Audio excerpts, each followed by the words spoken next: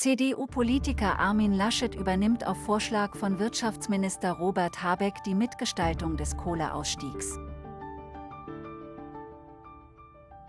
Dafür wählte die RAG-Stiftung den ehemaligen nordrhein-westfälischen Ministerpräsidenten zum neuen Vorsitzenden ihres Kuratoriums.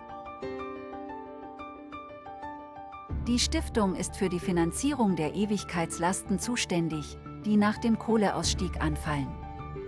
Die teuerste davon ist das ständige Abpumpen von Grubenwasser.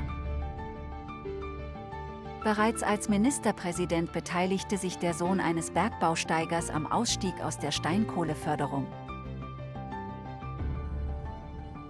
Laschet tritt die Nachfolge des ehemaligen RWE-Chefs Jürgen Großmann an, der zehn Jahre lang Kuratoriumsvorsitzender war.